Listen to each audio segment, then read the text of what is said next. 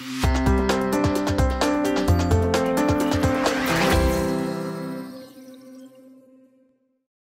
We're delighted to be with you this morning. As, uh, as you've just heard, this is our, our, our, first time with you from Own Company, where we position as the number one SaaS data protection platform. Let me tell you a little bit more about what we do. As, as you've just heard, I'm the Market Intelligence Director. What does that mean? I'm responsible for analyst relations. Uh, I look after all of our competitive intelligence, but I also commission our customer and market research. The benefit of that, or the great joy I have, is I get the, the, have the good fortune of speaking with our customers, potential customers, and partners on a daily basis. And, and, and hopefully that qualifies me uh, to share some thoughts and insights with you today. Alice, why don't you introduce yourself? Yep, thanks Graham. Uh, nice to meet everyone. So Senior Solution Engineer, what does that mean? So I work on the pre-sales side of the business, so reaching out to prospects, understanding the current situation, and really how we can help uh, with our product suite. Uh, my role is quite technical, and I go into product demonstrations, proof of concepts, and also I get to go to events like this and uh, showcase our products, which I'm really looking forward to doing today. And Andrew Hart, I need a new photo. You can barely see me in this one. That was, that was by design, Andrew. Uh, I am, I'm the VP of Services. We're not going to talk too much about our services here. So I, I work with our biggest, or my teams work with our biggest and most complex customers, uh, providing services that complement our, our products. I'm here today as a technologist. Um, I'm multi-cloud certified, and before I joined OWN, I had a career in CRM consultancy. I was the lead technical architect at Accenture in their Salesforce business group before I came here. Super. So what are we going to cover?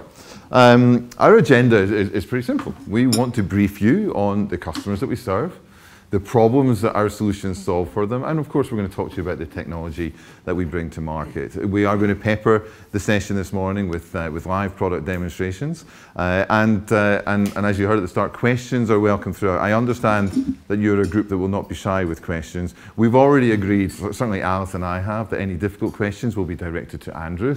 Uh, we'll take them, no, I'm kidding. We, between us, we should, uh, I would hope that we'll be well equipped to answer any of, uh, any of your questions. So what are we going to do? Quickly, I think we should start with an introduction of the company as a whole and give you an overview of, of, of the organization. We're then going to get into the solutions.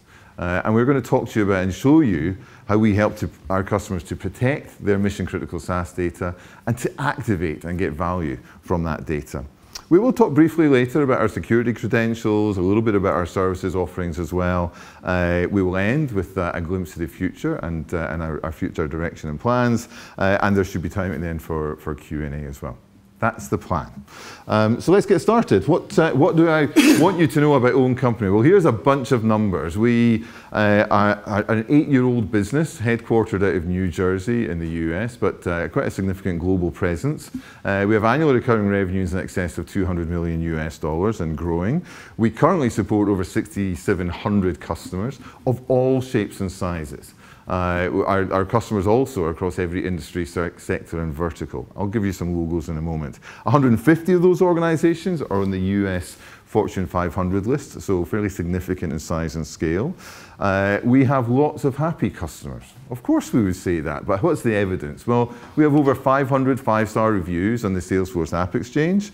Uh, if G2 is your, uh, your peer review platform of choice, then we've been a leader in the SaaS backup category uh, for 15 consecutive quarters. I think we have around 260 or 270 reviews on that particular platform as well. We ran a study with an analyst firm uh, last year. Uh, which saw them interview a number of our customers, and they concluded that we deliver, a, on average, a 525% ROI over a three-year period. That study also concluded that a typical own co company customer uh, has a three-month payback period. So their investment is covered in three months. Uh, at present, we support three platforms. We will go into this in more detail just now, but the majority of our customers use Salesforce.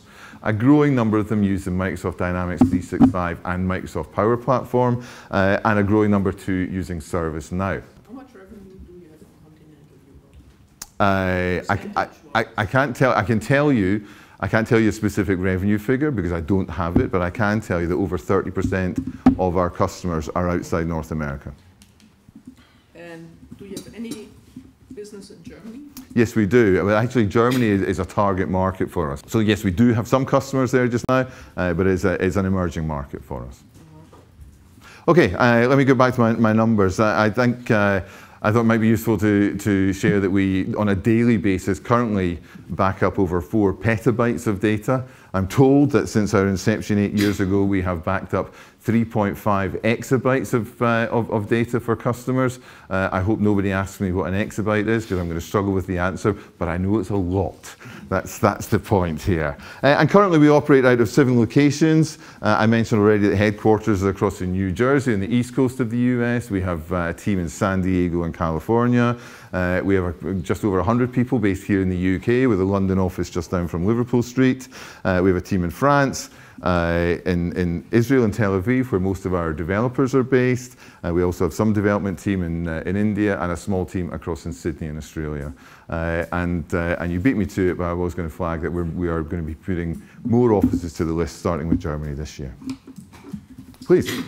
Is it like a really straightforward install and then an ongoing kind of subscription thing? Yeah. We, or is there a huge amount of work to do at the start and then it's an ongoing? That's, that's a great, it's, a, it's a great question. I'm glad you asked it. It's a really simple deployment process for us, uh, but it is a subscription revenue model, yes. So, uh, so we have that, that recurring revenue. Um, a typical own customer who's just deploying our Salesforce backup and recovery solution will be live in under 45 minutes with an onboarding call you know, within 45 minutes, we're backing up their data and it's protected. And the factor which determines the pricing is the amount of data? Or Seats. No, our, our, our, pricing model is based on number of users, so it's licenses. Uh, and that, is, in, with regards to our competitive landscape, that, that is the model that's adopted by most of our competitors. There are a couple uh, where they base their pricing on the amount of data being protected or, or stored. Please. Be concentrating on recovery rather than backup. You talk about Absolutely. the, the biggest backup company. Yeah. backup, it's recovery that people care about. I think I, I, I couldn't agree with you more. Uh, I was uh, I, I, did an interview with a new customer yesterday uh, who made exactly that point. That for them, they needed to know they were using a, a, another provider and they switched to us because that other provider was helping them to check the backup box.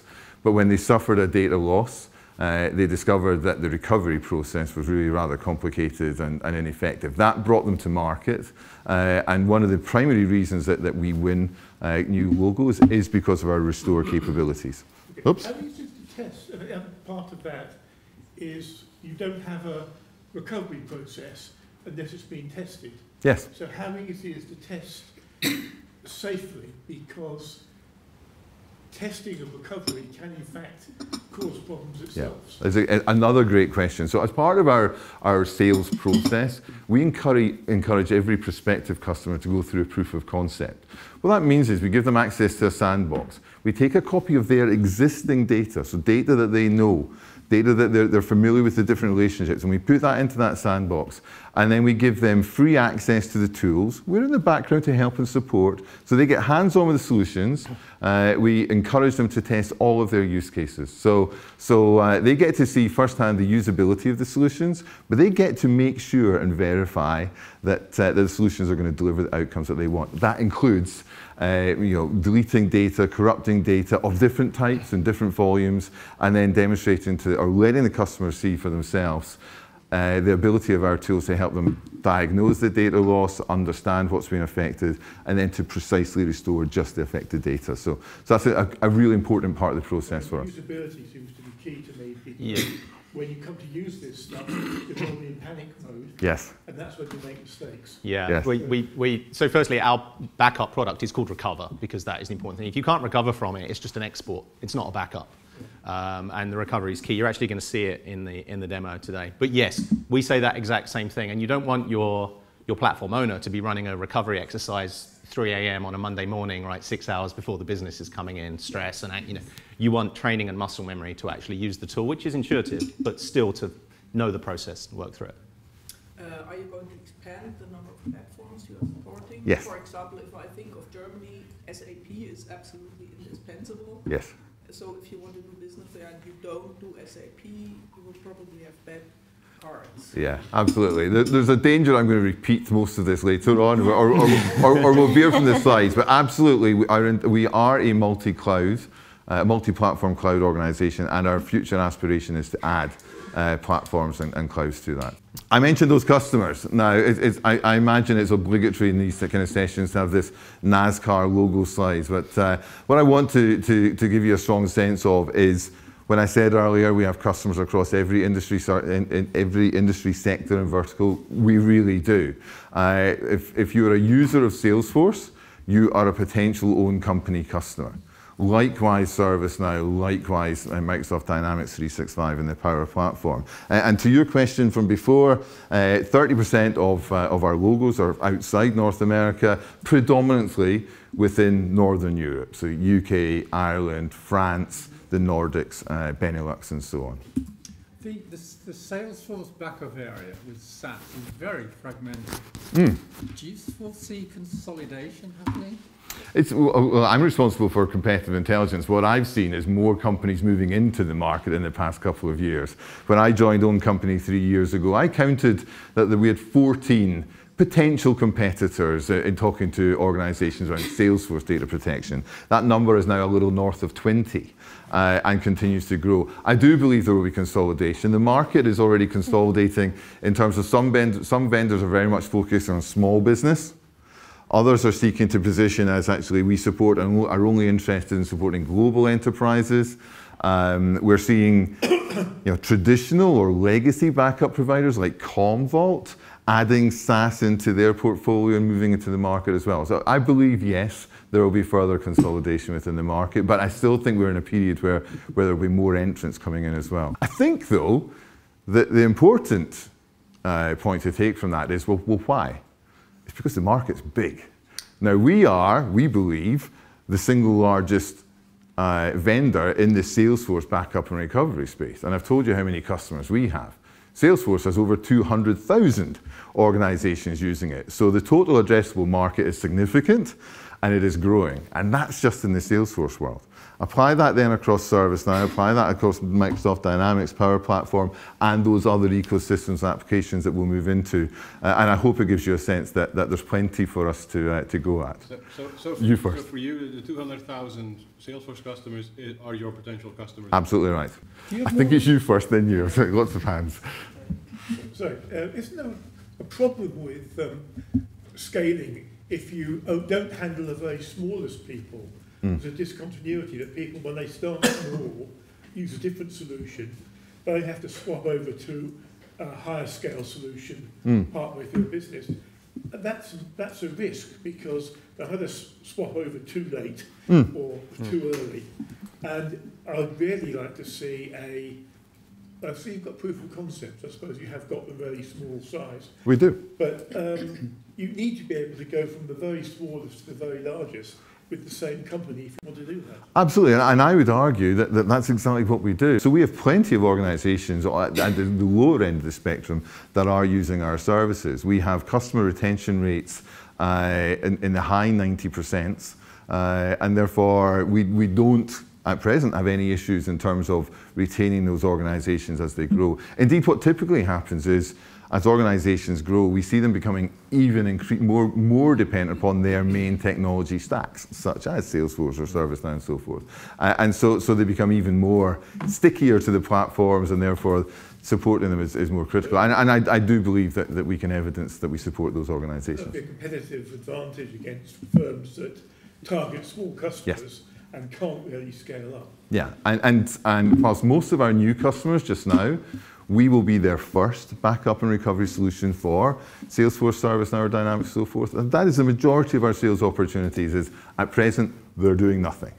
But you know, there's an increasing number coming through where they are switching from some of those kind of very primary low-level providers where, again, they're effectively ticking the backup box but in terms of restoration capabilities, they're a bit lacking. And, uh, and oftentimes it, it's the reality is they've suffered a loss or corruption of some kind, and that's the catalyst to them come to market say, okay, well, we've had this solution, but it's clearly not meeting our needs any longer. Just, why does Salesforce do some of this then? Well, actually, I can talk to that in a moment. But Andrew, let me. Yeah, I'm just going to add a couple of points there. So, one, two things we do to help our small market customers. One is we work through partners. So, if they're below the minimum size, a partner can provide it almost as a managed service. Mm-hmm. Um, so, we use the partner channel for that. The second is for uh, users along let's call it a somewhat happy path right there. They're not using their own encryption keys. They just want to use the backup service out of the box, you could say. We have a, a very low touch, almost a self-serve option for them as well. Literally credit card purchase, get live, get on. So we do, the cost of acquisition for those small customers is, is obviously disproportionate. So we try and self-serve or partner channel those as much as we can.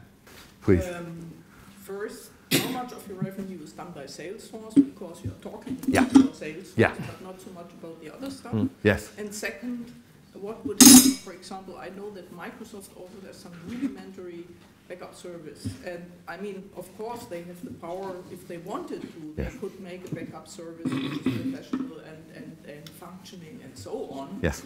What if the, the companies come to the point and say, okay, we'll do the backup ourselves? Yes. I- mostly what you ask, but for the others, or more generalized. Mm-hmm. Two really good questions as well. Let me, let me address the first one. So the vast majority of our current revenues is from Salesforce using organizations. Numbers. Uh, so it, it is, but, but you know, hence the, the strategy to be multi-cloud. Um, so it was only in 2022 that we introduced our Microsoft Dynamics 365 solution, uh, and less than a year since we've been in the ServiceNow market. So, so those those markets are, are of increasing importance to us, but I, I will not shy away from or, or tend to deny that the majority of our customers just now are in the Salesforce world. Um, the, the answer to your second question, I think, sits with the shared responsibility model. I, I'm- I, I hope there's no, there, I'm not at risk of patronizing you in any way, but the majority of SaaS vendors, including Salesforce and Dyna- Microsoft with Dynamics and ServiceNow, will, will adopt a shared responsibility model where they will say, we're, we will take responsibility for the, the network, the infrastructure, for making sure that there's 99.99, et cetera, uh, percent uptime and so forth. But you, dear customer, are responsible for the protection and management of the information you put into or onto our platform. And there are very strong and compelling reasons for SaaS vendors to continue to want to operate that shared responsibility model. You're absolutely right to note that Microsoft Dynamics actually comes with some rudimentary backup capabilities, as does ServiceNow. But as we're seeing, those capabilities are primary, are very low level, very short of functionality, and so there's really still compelling reasons why, why organizations would, uh, would want to use a third-party vendor for that protection. Please. Sorry, you used an expression earlier, muscle memory, which I think is great. if you have, if you a typical install with, I don't know, a thousand seats or whatever, you discover a problem Monday afternoon, something grim, just ballpark, just an overview, you, you notice there's a problem, you've got the own solution in whatever level it works. What, what, what does it look like to the person who goes, ah, it's gone wrong? And does it have, does it make any difference? Is it much more significant if it's some kind of ransomware attack Yeah. and you've got the possibility that previous backups have been infected?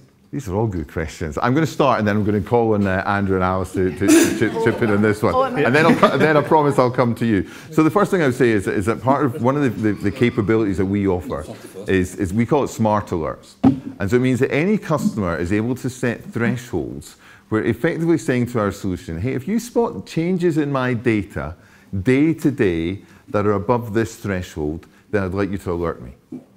Um, and actually, so, so for many of our customers suffering a data loss or, or corruption, the first thing, time they learn about it is actually from our daily message that says, you know what, there was, there was over 50 accounts deleted yesterday.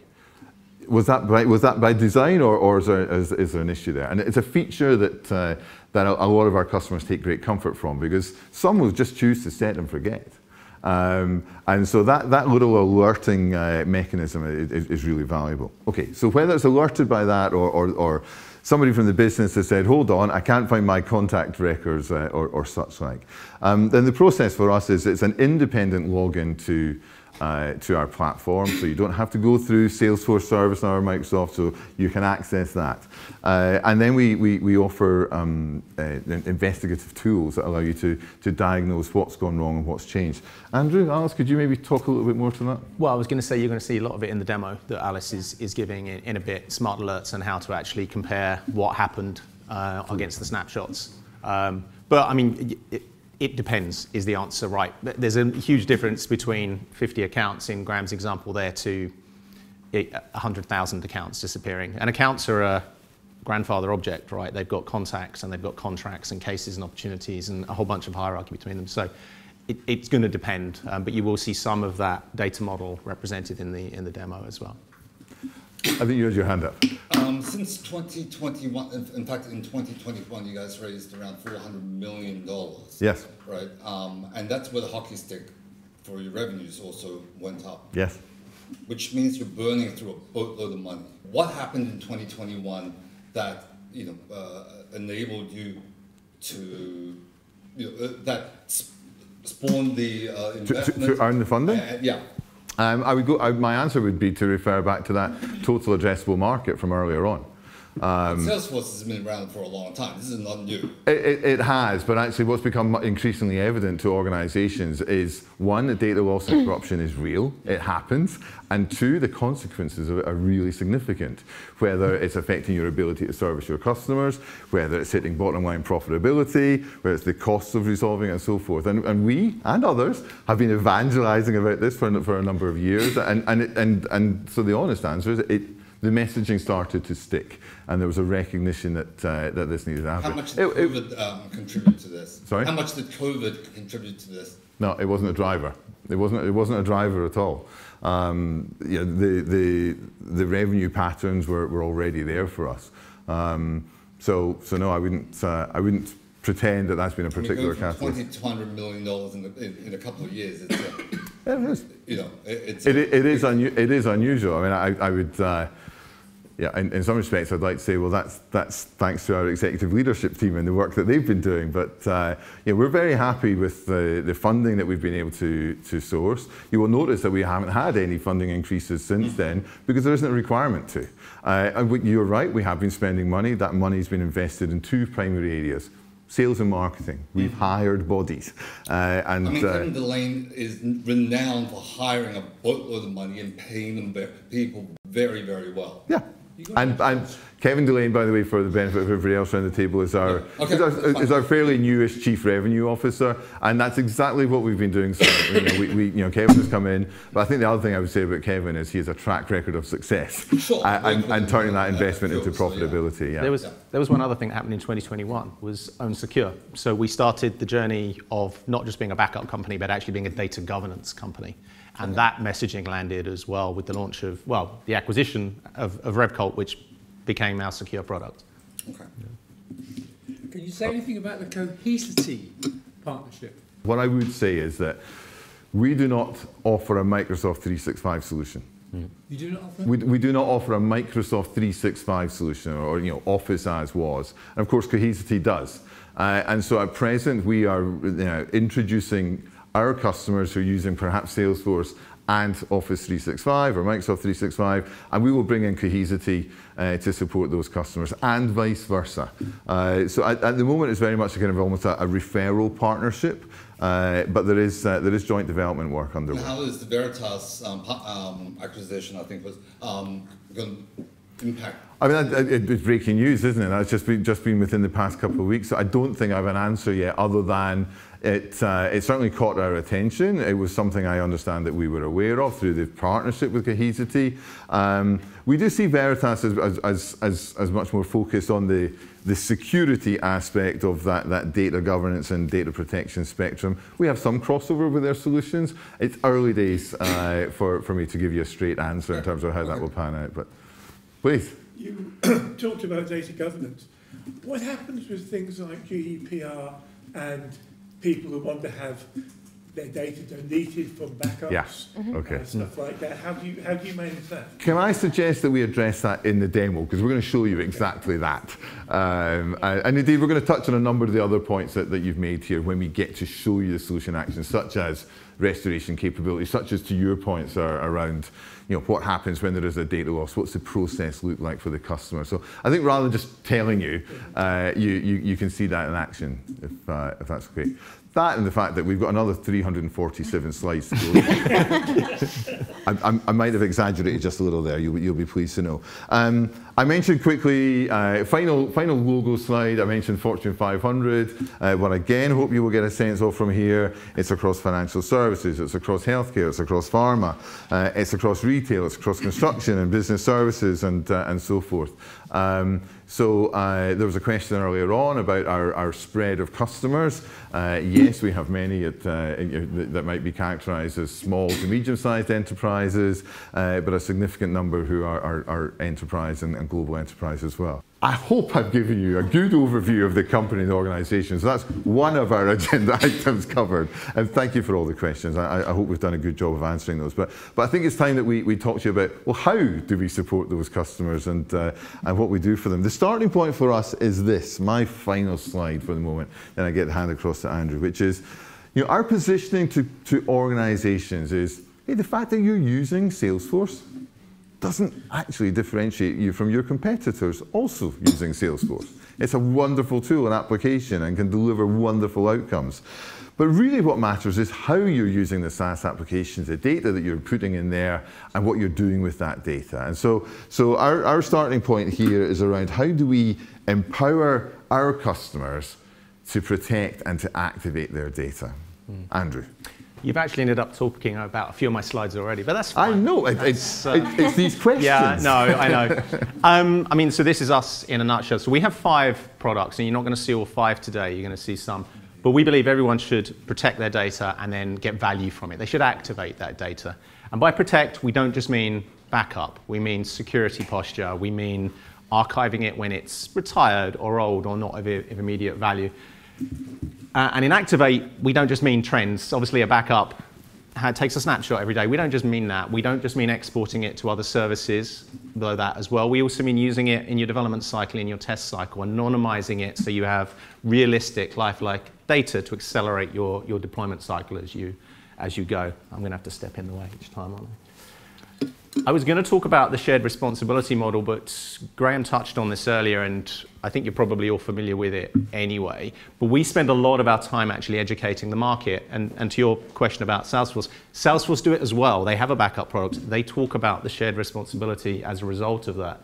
So they, they provide the platform. You are responsible for everything in there. I often use an analogy of like our personal social media. Facebook is not going to go down. Facebook's not going to delete my account unless I break the terms and conditions. But if I log into Facebook and delete all my photos, that's on me. Um, that's nothing to do with them. If I write my password down on a post-it note and leave it on a table, and somebody logs in and deletes all my photos, that's on me as well. And so that's what we mean about the shared responsibility model. And customers are more and more aware of that. And to the, the hockey stick that, you know, line that was mentioned earlier.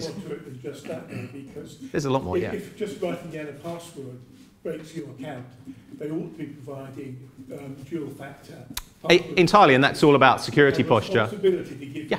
The tools that you need and not encourage you to do. And, and they do, and that's perhaps not a good example. I should retire that one, but uh, but yeah, no, you're quite right. The and when we talk about protect, we talk about security posture, which doesn't just mean how users authorize and authenticate. It means what can they do when they're actually in the system? What can they access? How have you secured? How are you uh, classifying your data? Have you even classified it? Because as you'll see, uh, a few, few stats for you. Um, the, the sources of these are at the bottom, but a third, close to a third, Forrester says, um, of customers experience a one gig data loss on a monthly basis. Now, Salesforce measures records by no, most records by a nominal 2K per record. That's 500,000 records. That is not a sales rep accidentally deletes. Per month. Per month. Yeah, so a 32%. Every month. 32, nearly a third of customers experience a significant data loss on a monthly basis. And it, what, what, how do you, find, do you define loss in this uh, context? It could be anything from a record to a field getting overwritten through perhaps an integration or a user error or a migratory uh, mistake on that. But it's data that was on a record that has been either partially or entirely lost or corrupted.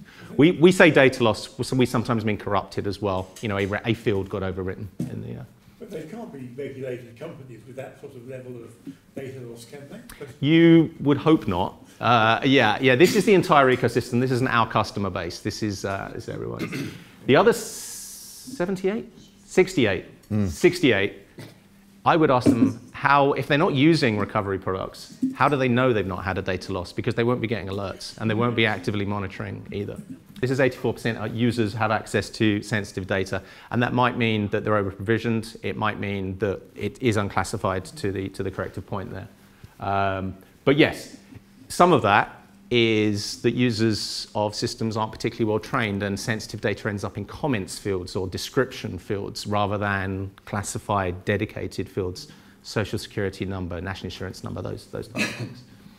Um, and from the uh, data, uh, the data breaches, 75% involve the human element. I, I have a personal view on this. I think it's higher because an integration error or a migration error or whatever, it's still a human error ultimately at the end of the day. Somebody configured something incorrectly. But these are ones that involve a, a human element. The only ones that don't, someone mentioned ransomware, is hmm. really malicious attacks. They're the only ones that don't involve a human error at somewhere. And even some of those, you could argue someone fell for a phishing link or exposed their credentials or left their phone somewhere. And if I may, I, I'm, I'm sorry.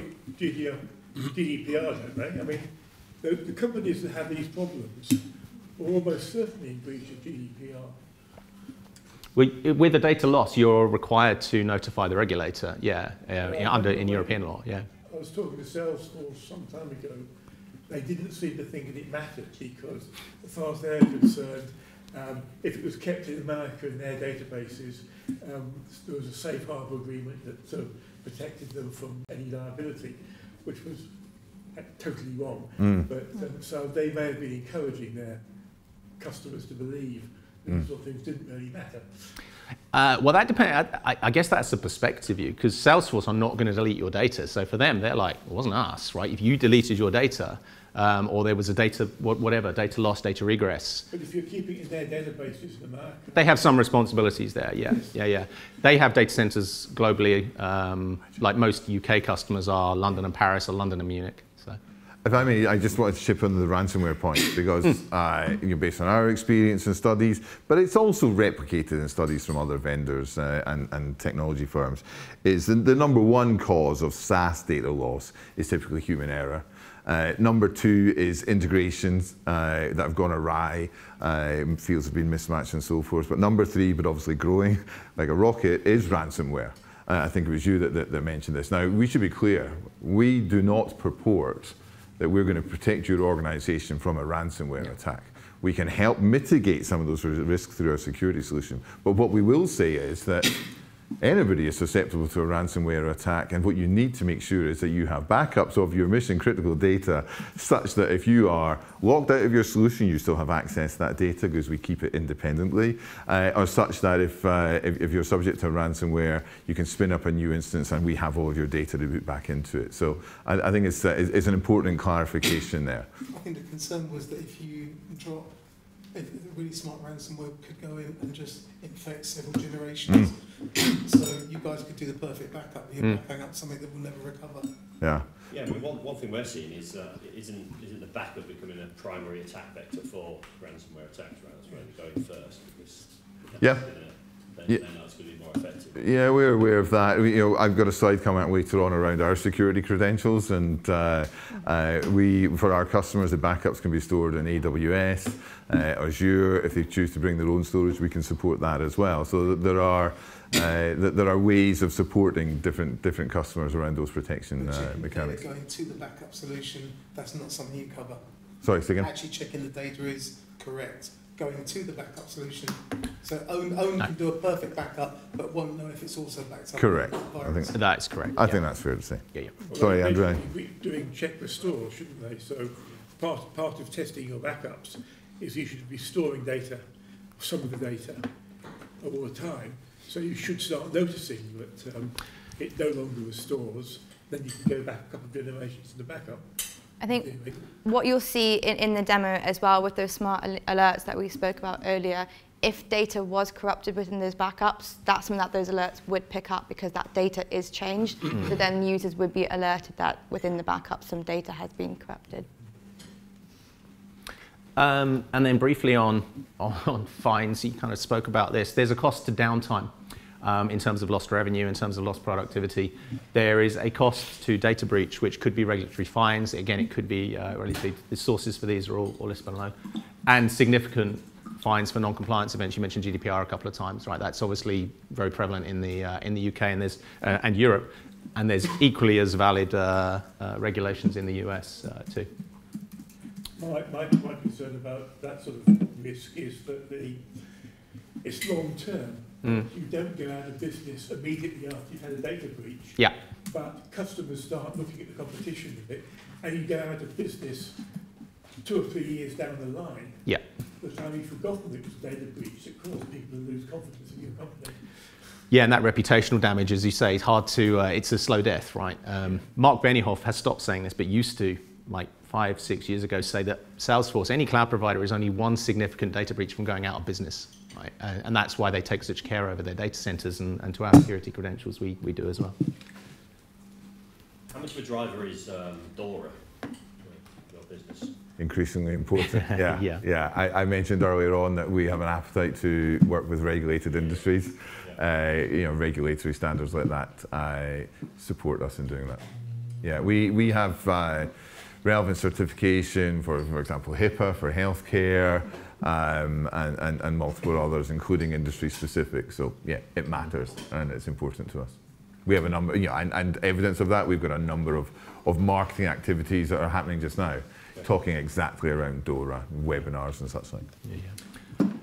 There are, You're up. sorry, your, your customers will, especially the Fortune 500 customers, will have existing backup arrangements. Yes. Have you pursued any ideas of partnership with existing enterprise backup suppliers so that, for example, their dashboards could include your backup status? Yes, but nothing that's been brought to market. Is it active, under, actively under, under consideration? I, I don't know the answer to that question. But I, I do know that, uh, that, that colleagues in our partners and alliances teams engage with a wide number of different partners, including the group that you've just talked about. I, I, I, I just genuinely don't know the, Yes, the, I the mean, it's an status of that. interesting um, point, I think, given that we're in a, you know, a hybrid, it's a hybrid world, right? Mm. Customers have a range of applications on premises and in the cloud. Yeah. Uh, and in some respects, this reminds me of the security industry, where it's a new application, right? Well, when I now need to secure this application, I've got Mm. to buy something to secure this application. I need to buy a new product to back up this application. Um, and, and that in, in, in, in, in, um, in aggregate adds to complex, ultimately complexity for the customer. It does, yeah. yeah. I think at the business level, isn't it? You, you, you're able to back up your data. You want to back up your customer acquisition system. If that spreads across a mainframe and a SaaS solution, Mm. will it cover the whole business area? Yeah, I, I, I, I, we certainly see an appetite for, uh, there was a question earlier on, but we see an appetite for vendor consolidation. I'll give, you an example, and, this was another one of my recent new customer interviews. This was last week. Uh, and this was a customer that was already using uh, Commvault in different parts of their business, but wasn't using Commvault for SaaS data protection. Uh, and Commvault has an offering for Salesforce, it has an offering for Microsoft 365. These were the two SaaS applications of particular importance to th th this customer. Uh, the relationship with Commvault was owned by the IT team, uh, and the, but not by the separate Salesforce administrative team. Uh, and there was quite a debate within the organization between the Salesforce administrative team and IT, with IT saying, hey, we've got, we, we really like Commvault. They're doing a great job in protecting our data centers and this, that, and the other. And they've got SaaS application solutions. And because of our buying power with them, we can get them really cheap. So we'd like to put everything in with, uh, in with Commvault. The Salesforce admin team had to say, yes, we understand all those benefits, but, but the architecture of Salesforce is such that it needs special dedicated resource. So it was a best of breed versus a consolidated, consolidated vendor all-in-one argument. Uh, we increasingly see that if Salesforce matters to the customer organization, then they will go the best of breed route. Uh, but it, it, certainly happens, and, and, if I may, go back to, I don't think I quite fully rounded off my answer to your question, is that, yeah, we are, we, we are certainly aware of the broader market and, and having lots of conversations with, uh, with partners of all sorts. Um, your, your, your, your colleague mentioned Kevin Delane earlier on, our new Chief Revenue Officer. One of Kevin's uh, um, uh, areas of, of historic success is around leveraging partner and channel. Uh, so we're doubling down in those areas just now. I can't tell you any more about, uh, about where we exactly we stand or, or future plans around you know, relationships with uh, some of those legacy or established backup and Well, recovery providers, but uh, uh, I can't tell you any more. It, interests me because years and years ago, I worked for a bank which Hmm. had um, a test recovery of its systems, and it managed to get all its databases back. I was at DBA at the time. Um, that was no problem at all. Couldn't get the business back because the data center they were storing the stuff into didn't have enough phone lines at the exchange Wow. to cope the business. So Wow. tells me immediately you need to back up everything you need Yeah. for the business, not just the data. Yeah, absolutely. I don't think, I we, we, wouldn't, uh, we wouldn't argue with that for one second. I think that yeah, w- w- there, there's elements we can help with and there's aspects that, that we can't. train people because a lot of that is, is about training. That people, you give it to the IT group, all they do is back up the databases. You need to have somebody who actually understands the discipline of business recovery.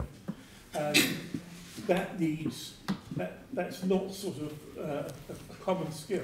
Yeah, and even understand SaaS and the difference that has to uh, to, to databases in, in that example. Yeah, and, and we often see with with many of our products that you know if we talk about secure, for instance, the CISO doesn't speak Salesforce, they don't speak ServiceNow, they speak InfoSec, and the gap there between the SaaS platform and the uh, the CISO's kind of expectations and requirements is often not aligned. It's terminology gap, it's a language gap. Um, so we, we often see that, and the same is true from on-prem to, to SaaS as well. Yeah. So do you have training facilities or do you have training partnerships that um, We, I mean, my team. So the technical account managers report to me. They only look after a very small number of our customers. They provide training to the customers, and that is generally enterprise and strategic customers who recognise the severity and the need for the for the training. One thing we do at um, we can call it the you know commercial space is uh, data recovery readiness uh, assessment. We call it a DR3. It's it's like what do you actually do when you have a data loss? Who do you let know? Um, who's the incident commander? It's all these kind of really simple things. Is there an email distribution list? All of this really simple stuff around handling the data loss right through to actually using the tools as well. you tell the press because Whoever you need to tell, you have to tell. Yeah, and that could be it could be shareholders, it could be regulator, it could be it could be the media. Yeah. tell you got the stuff back, don't? Yeah. Yeah. Yeah, yeah, yeah, yeah. might not have done. Yeah, absolutely. I'm, I'm mindful of time. We're approaching quarter past there, which means we've got about 30 minutes left in which to uh, cover a bit Yeah. more ground. We really want to show you some, some solutions in action. Yeah, so we're going to split the get demo into two. So we're going to talk about Protect, and the, as soon as I hand to Alice, the closer to demo uh, you, you actually are. Um, but yeah, there's the three main points on Protect, and we'll talk about Activate uh, uh, a bit later. Yeah, perfect. So before we jump into a demonstration, just a quick overview of the product suite that we have our own. So we have our Recover solution, which um, thank you for all the questions. We're going to make sure that we cover them in, in the demonstration, but this is all about being able to identify where there's been a data loss, a data corruption, and restore an effective and timely manner. Our secure solution is all about understanding the security posture of Salesforce environments. With Salesforce, more and more data is being added onto the tools as customers, they're deconsolidating their tech stack, adding more onto Salesforce with more users, and this comes with more risk. So being able to understand exactly where the risks are within Salesforce and the uh, remediation actions that they need to take, that's what our secure tool helps with. Accelerate, this is all about populating production-like data into those sandboxes. So when we talk about testing recovery, what the process looks like for that, this is where Accelerate will help those, those users. So with Accelerate, using that production-like data, mimicking a data loss and data corruption incident, and then mimicking then who's going to find out about that incident and who's going to go about restoring that, that data works within Accelerate. Of course, we also anonymize data within sandboxes too, because we often have developers working in sandboxes and you don't want them to see uh, PII data within those environments. Our archive solution is all about archiving data out of Salesforce. So with more data within Salesforce, the more we see system performance decrease. But also we have lots of legacy data in Salesforce that we no longer need. To archive, we, it's unlimited data storage and users can set up uh, policies in place to automatically offset data out of Salesforce and into the archive solution. And Discover is our newest product that we're going to dive into um, towards the end of today's session, which is all about using historical backups, so time series data, to um, enable um, tools uh, that use AI and machine learning to really predict trends and analysis on the historical data within the backups. But without further ado, what we're going to do is dive into, thank you, into uh, a demonstration of our of our product. So focusing first on our backup and recovery solution. As already mentioned, it's an independent web application to Salesforce.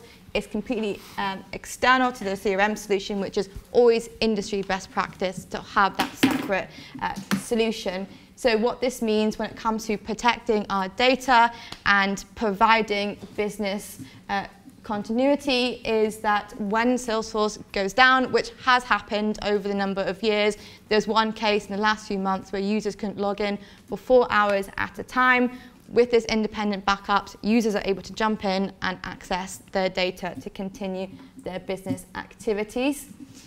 With the backups, we're backing up everything that falls onto Salesforce, so all the data as well as all of the metadata as well. So capturing everything and each of these different boxes that we can see on the screen, these are the different Salesforce environments that are connected to OWN and backing up the environment automatically on a daily basis. Now, we already discussed, okay, we've got a backup, but actually, what about recovering? So if we take a look at our, one of our environments, our global production environment, so what we can see within this environment is we can see the status of our latest backups, but we can also use OWN to monitor our data. So within, within Salesforce, it's quite difficult to understand if anything out of the normal is happening. So within the platform, we can filter on any business critical object that we have at any time frame within the backup. So for example, if we want to have a look at November all the way till now, February the 22nd, what users can see is nice and visually where data has been added, changed, and removed. And should anything out the normal they see within this particular graph, for example, here we can see there's been a spike in data loss. Uh, so what, what that's saying is that on the 13th of January, there were 27 accounts deleted. Users can click into that data point and they can see that backup to understand which accounts were deleted, but also the magnitude of that data loss. So with Salesforce, as already mentioned, the relationships um, are pretty significant. You have grandfather objects with um, many different grandchildren, as well as lookup relationships to those records. So in, in Salesforce terms, deleting an account record, this causes a cascade delete and actually can cause what we see here, opportunity to be deleted, complaints, tasks, and so on and so forth. So when it comes to restoring, we need to understand exactly what's also being deleted within the environment. And all of the backups that we have are always full copy backups. So this is how we're able to exactly understand the scope of that data loss and data corruption, whereas we see with other organizations with their backups, they're only doing incremental backups. So with those incremental backups, it's really hard to understand the actual scope of what's being deleted. Mention for copy, but where? Uh, in the same place, uh, you mentioned AWS, uh, mm -hmm. Azure, uh, yeah. you can do multiple copy in different uh, yeah, so so they, they've got at least four different redundancy zones, whether you go with AWS or Azure. In addition, for some of our customers who like to follow the rule of three when it goes to backups, you can also export the backups as well to their own AWS, um, Snowflake, S3 bucket, um, and so on and so forth for that additional rule of three backups too. This application is a SaaS application. SaaS application. Up, uh, for each customer? No, uh, just multi-tenant application. Yeah. yeah. Yeah. So we handle all of the security controls for them. It's all unlimited data storage as well for them. If you do only full backups, it mm -hmm. needs a lot of storage how does this influence the storage cost of your customers if they are, let's say, AWS? The, there is no implication. Our pricing model uh, gives customers unlimited storage and data retention. So the, the storage price is your business? Yeah, absolutely. Yeah, and this is a really important point as well because this is exactly how we're scalable with customers as well, because especially with Salesforce, we're seeing a significant growth across all of our customers in terms of the data that they're putting onto the system. So being able to scale in terms of not charge for any data storage with the, with the customers is something that they really value at own. If you had, say, a thousand seat install, Mm-hmm. typical size data, from the time you kick, say it's set to happen at three in the morning, approximately how long before you've got this full backup? Like, how long does it take? And how do you decide? Like, because obviously some Hmm. companies will be running 24/7. Uh-huh. If you run a full one and it takes half an hour, an hour, two hours, does that mean that it, it starts there? How do you freeze it if you're also including metadata? How do you, how do you how do you guarantee you've got the backup if it's a moving target? So we, we guarantee if you've got less, if you've got fewer than a billion records, we will back it up in less than a day, and we're high. Less than a day. Yeah, yeah, yeah.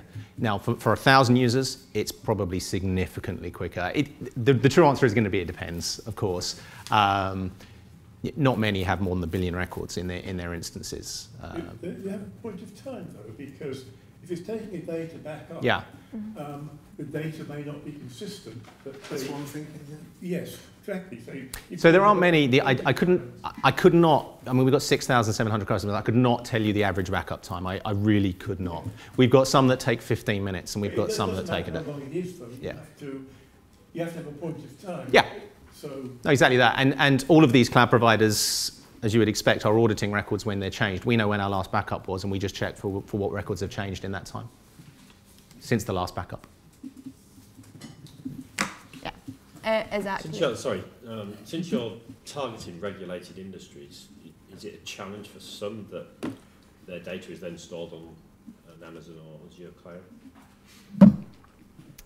I don't think, um, I'm not sure I understand the question, but, but, but what, what I could say, Regulations that limit, that limit the extent to which they can use public clouds for storing their backups. not that I'm aware of, but that's why we have we have the options of they can go AWS, they can go Azure, or they can bring their own storage. So if uh, if they want to go private cloud, then then then we've got capacity to support that as well. And just, just to add to that as well, as part of uh, the, A- the AWS or the Azure solution, customers can also bring their own encryption key. Mm. So when we are selling into uh, industries where it's you know got certain regulations, that's when they'll bring their own encryption key to protect that data. I mean, especially in, in the continental Europe, Mhm. you're not allowed to bring the data out of continental Europe. Yeah. And also, there's very much suspicion about having data, um, sensitive data on AWS or Azure, even if it's encrypted or whatever. So uh, if they, pre- uh, if we prefer to take one of those smaller cloud providers, which are German-based or something, or European-based at least, would you support that? Not on-prem, but they decide to go to Bechtle, or they decide to go to, um, there's one French company who stores data a lot and so on. Would you support that? So currently we're just supporting AWS and Azure. Um, but most of our, so for those continental customers, majority of them do go with our AWS Yeah. uh, data center based in Frankfurt because obviously they've got so many rules and regulations and that actually feeds the majority of security concerns that they have and then on top of that they add their own encryption key. Okay. you have key management facilities because if you're giving people their own encryption key, Mhm. they lose their encryption key, that's equivalent to losing their data, unless you've got some kind of um, dual access, which means two people can recreate the key, or something like that, because you really don't want to have It's not us. It's the encryption yeah. No, agreed. It's. So we don't provide the key management, it's through AWS um, who, who provide that. And, and you're right, if by the way, if they bring it, we don't have access to their data and we don't have a copy of their key. And if they delete their key, corrupt their key, they've lost their backups. Yeah, that is, that is So, true. so the straight answer is yes. We have we offer advanced key management, but Yeah. le- leveraging the Yes, the options there. because encryption is very seductive. It's a, a big risk by itself. If you Correct. Yes. Mm-hmm. Or if Correct. somebody steal, change the key and leaves the, leaves the company, that's a good way of Yeah. losing data. yeah, For, for sure. Um, and also when it comes to um, talking about losing data and that recovery piece, so we did touch upon smart alerts earlier. So just to show you what, what exactly that looks like. So we have three different types of alerts that our customers set um, within their backups. So we have the statistical outlier, and this is typically an alert that you can send any object and it looks at a 60-day window period and it understands typical trends of behavior for that particular object. So for example, let's say we set it on the contact object what OWN will do here is understand how many contacts are typically added, changed, removed each day. Should anything out of the normal happen, then an alert will be triggered from the backup and send uh, the users an email notification to say, hey, something out of the normal has happened, or contacts have been changed to normal. Here's a list of contacts that have been changed. We also have our more specific alerts as well. We have our more than or less than that we can set on any amount of records or percentage of records where they've been removed, changed or added. So any particular business critical objects that our businesses have, this is where they set the alerts on. Also, if they have any rules internally where users aren't able to delete accounts or delete emails or things like that, they can set these alerts on, on those objects. So should an incident happen, then the users will receive an email notification to say, hey, someone managed to delete your email, someone managed to delete your accounts, and you can know straight away and go and identify which records and which user that was. Could you set up some kind of um, alert that would, something based on processing, whatever, detect that large scale, large amounts of records were in the process of being encrypted? Being encrypted from the Salesforce side, or? Yeah. Somebody's stuck something in there and it's encrypting your files, and obviously the sooner you find that, the less damage gets done.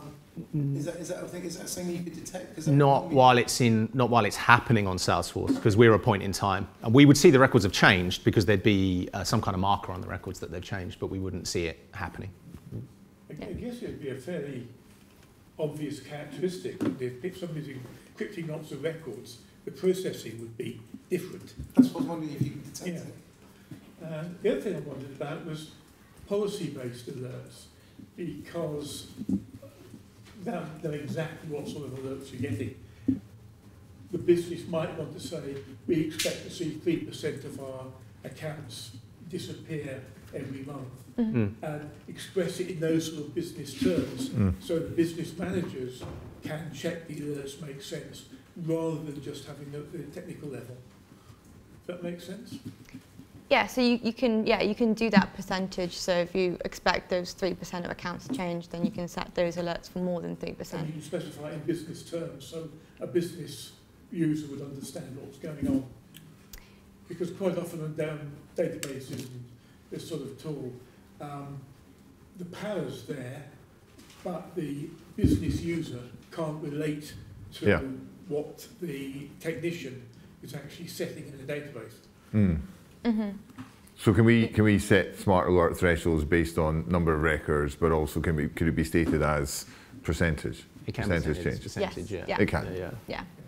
And to show you all what a smart alert would, uh, looks like, so I did have some data that was deleted on my Salesforce org not so long ago, and I did receive a smart alert um, on the alerts that I had set up.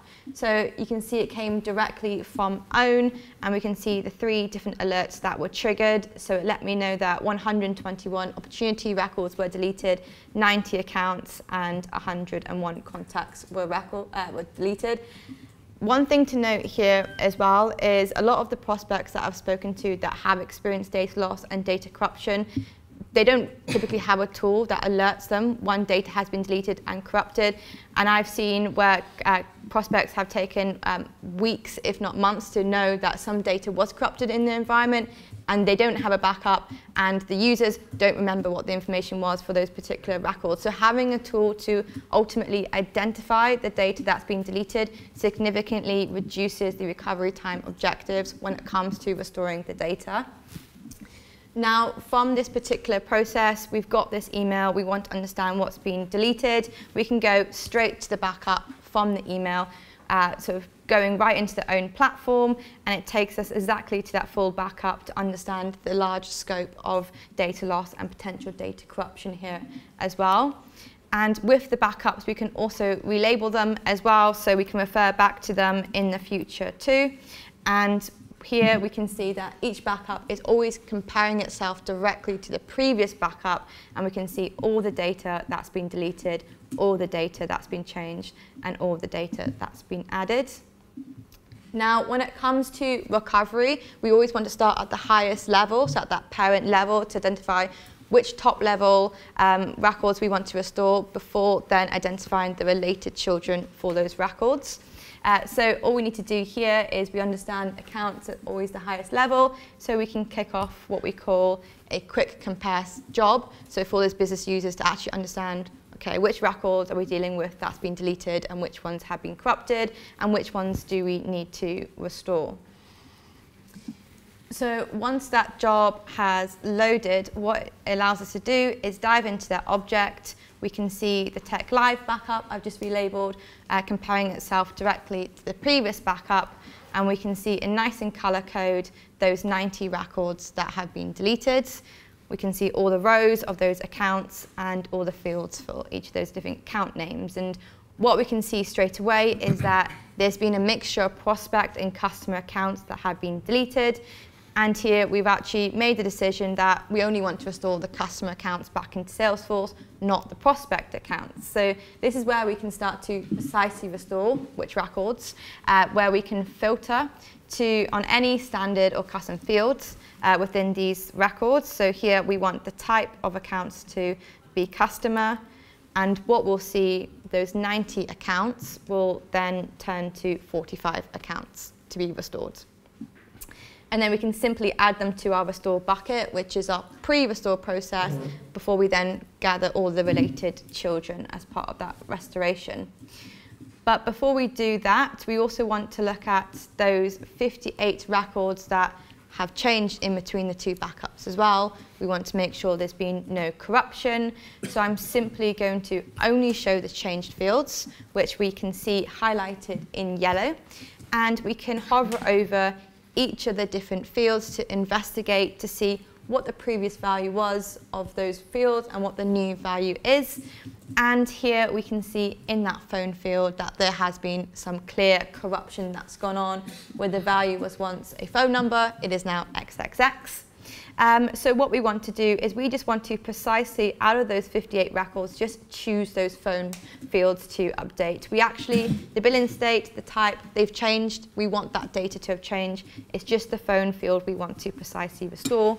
So here, all we need to do is just identify only those records where the phone field has changed. So we'll see that 58 will then change to 15 records, and then we can add these records to our restore bucket. Alice, can I jump in? Oh, sorry, please. You can restore any, each and any field of each and any record Yes. Yes, yep. exactly. And the, the benefit of being able to precisely restore singular fields is that with other solutions, you'll see that they'll write over all of the records, so they'll lose a lot of the good data that they had. Whereas here, we're just restoring just the data uh, that was corrupted. Yeah. We're behind schedule. I think it's because of, of all the questions, and, and, and we welcome those questions. But uh, Alice, what I'd like to suggest we, we do is there was an appetite uh, around GDPR and managing those requests. So let, us quickly talk to that. Uh, and then we're going to switch to uh, how we help our customers to activate their data. We have a new solution coming to market to discover. So, mm -hmm. so uh, we'll, we'll, finish off on the backup and recovery piece and protecting data now in talking about GDPR, and, and then we'll switch to discover if that's yeah. okay. Yep. Thank you, Alice. Perfect. So just to round off how we can restore the data back into Salesforce in that timely matter, we have our two buckets, the data that's been deleted, the data that's been corrupted, all we need to do is uh, hit preview restore, which will create two different jobs. One job where it will show us those 15 different records with those phone fields to revert back to the original values. And we can do that by hitting that green button. And the second job where it shows us those 45 deleted accounts. And what it's done now is it's pulled in all the related children for those customer accounts that were deleted as part of that data loss scenario. Now, if we didn't want to restore the children, we could simply unselect those, those records, or we can be uh, specific again and open them up and precisely choose which records we want to restore. And once satisfied, we can hit start restore and OWN will start pushing the data back into Salesforce. Really very strong security around this because you could um, have to be linked up to the security as a whole because not only could you make a mistake and corrupt the database by making incompatible changes, yep. But if you wanted to um, put your own name into certain account fields, something like that, this would be a good time to do it while you're fixing a genuine problem. Just go in there and sort of make a few unauthorized changes. Yep. So you need to, needs to link in with the security of the organisation as a whole. Agreed. For, for sure, and, and that's why we provide an audit log within our in our backup solution, which is essentially a view for it's read only for users to see every user that's logged into the platform, um, any changes, anything they've downloaded, any activity of restoration being one of them that they've conducted. They have this activities log, and one data is being restored, an email sent out to all the users on that platform as well for visibility. We, we use Okta as an identity provider. We don't provide our own security. We've gone best of breed there as well.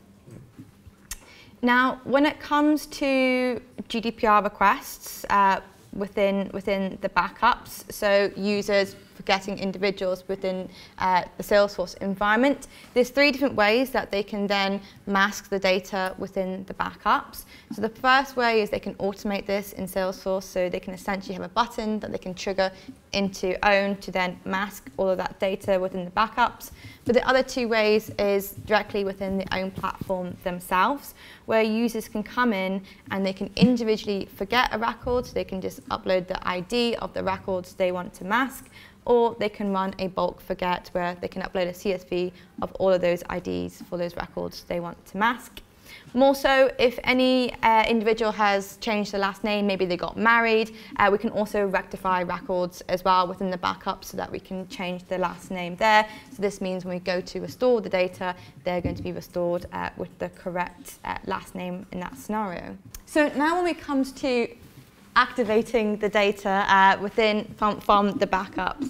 Um, so what we've also realized is that backups, they do contain uh, valuable business insights with time series data. So if we think about Salesforce, it is just uh, the data as it is within the platform, whereas with the backups, it's all the different versions of the different field changes within the backups. And backups have typically laid dormant, they've been difficult to access, and what we've seen is the backups have lied in a format that just isn't analytics or AI ready.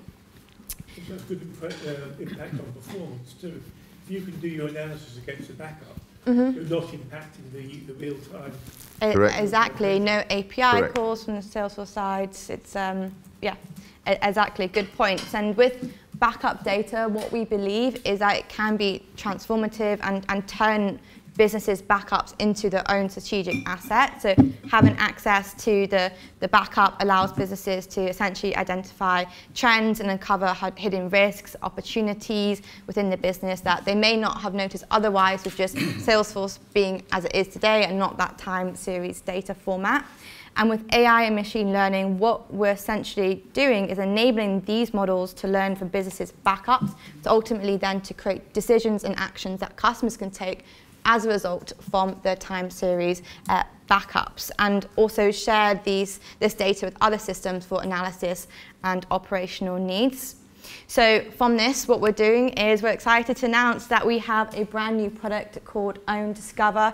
It's a secure, scalable, data service that enables fast, easy, and seamless access to SaaS data backup in an analytics and uh, time series format. But before we run into a demo of the product, there's a few features to call out.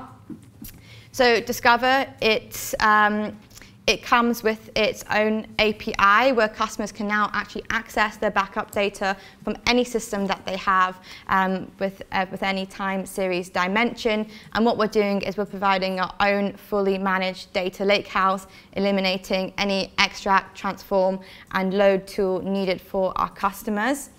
And to give you an idea of what it looks like for customers as it is today to do this analysis, um, what customers would have is they would have to have their own ETL tool, their own uh, data warehouse, data lake, data um, engineers and developers to get their data into a format ready for analysis where they can add in their own AI and machine learning tool. But with Discover, it essentially it redefines what it means to own your data by providing a self-service access to analytics-ready data in a time series format.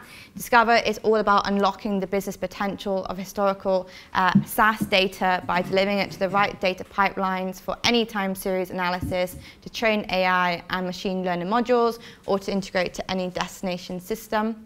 Did you program that yourself, or is there some OEM program? so we so we are taking care of the middle bit, and the customer is taking care of the bit on the right hand side. So bringing the tools like a QuickSight, Tableau, Looker with their own AI um, or machine learning modules. Did you did you find out that you, customers would prefer to do AI processing of this data inside the own backup environment rather than having it pumped into an existing data warehouse with existing AI processing arrangements. It's a you're adding complexity in one sense here, aren't you?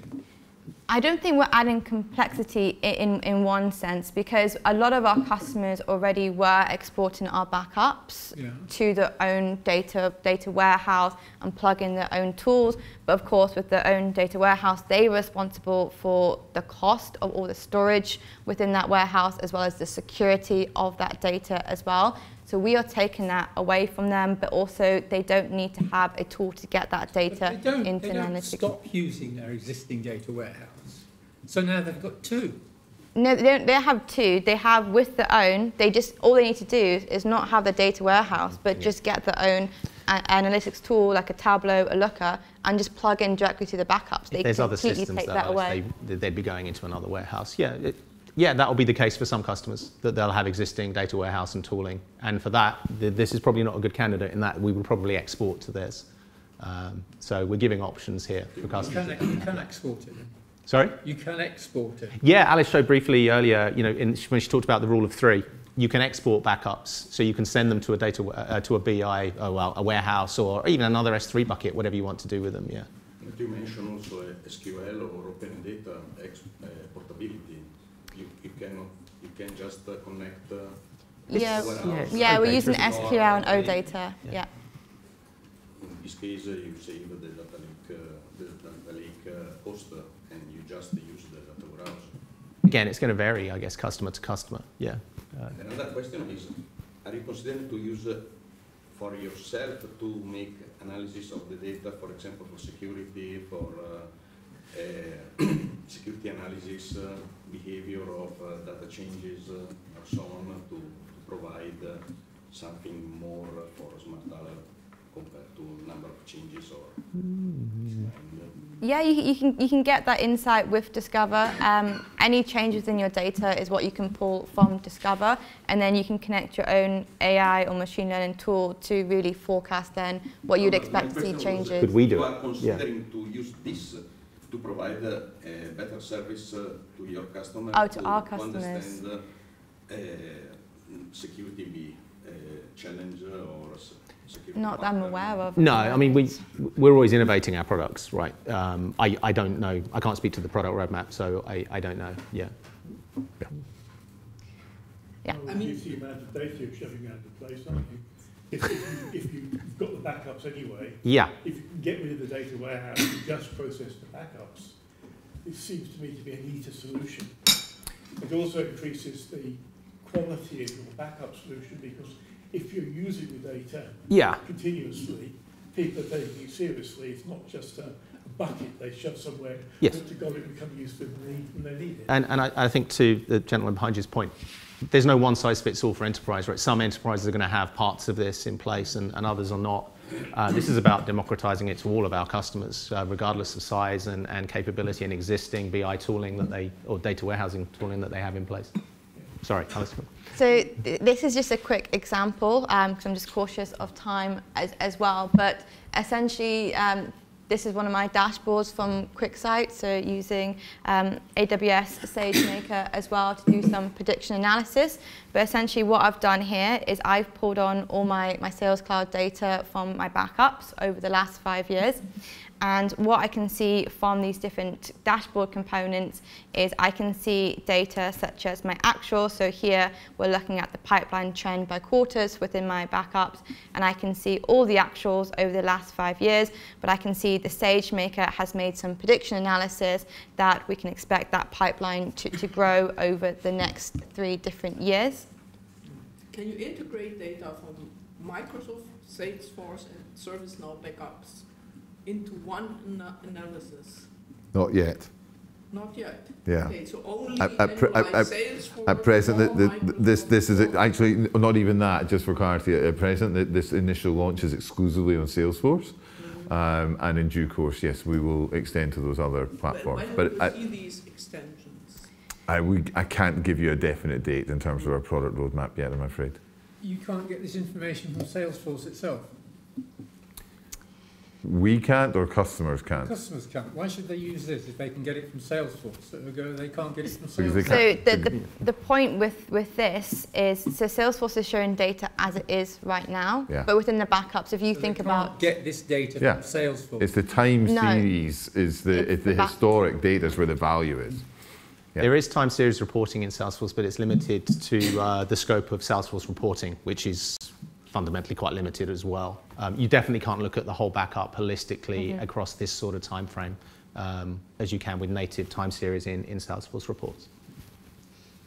And also another thing to call out as well is any data that's been offset off the platform, whether it's been deleted or archived, it can also appear within the reporting as well. So you're reporting on data, legacy data that's no longer within the platform. Uh, good point, yeah.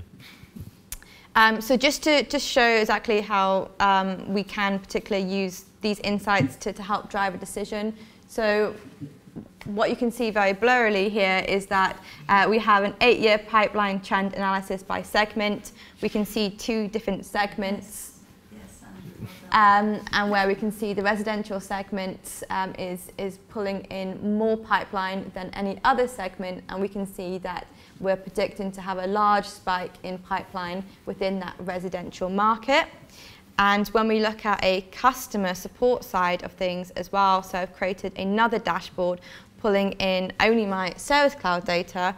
Um, I've made a dashboard where I can see the CSAT score for the two different markets, that residential and commercial, and I can see over a two-year period that the CSAT score has been dropping in that residential section and investigating further in the following component, I can see all my average hours to resolve um, a case by segment. And again, I can see that residential that residential segment has been increasing in time to respond to a case as well. So this particular example, they can make a decision now. They know there's going to be growth in the residential market. They can see that the CSAT score has been dropping, so then now they can make insight to double that support team supporting that residential market uh, to, to navigate the, the growing dr- uh, demands uh, for residential assets. Coming up with the hook. Yeah, it, it, it, it, yeah that, that was the sign that we're at time. I'm sorry, I'm sorry, I'm sorry to talk o- o- over you. I'm, Required. If, if, if I may, just, just, just one final word. We, we, we said at the start that our, our mission is around empowering customers to protect and activate their data. So with the protect piece, you saw backup and recovery. We didn't have time to demo some of those other products around secure and so forth, but I hope you understand and get a, a sense of our focus around that. Discover is very much about activating, getting value from that data and, and, and in a way that, uh, that is really quite innovative in terms of the, the, the market in which we operate. Thank you so much for your time yeah. this morning. Thank you for all of your questions. We will, of course, be very happy to engage with any or all of you in, uh, in, in, the days ahead. If you want us to, to meet again for further briefings or discussions uh, or interviews, then, then again, we'd be glad to do that. But, but thank you again for this morning.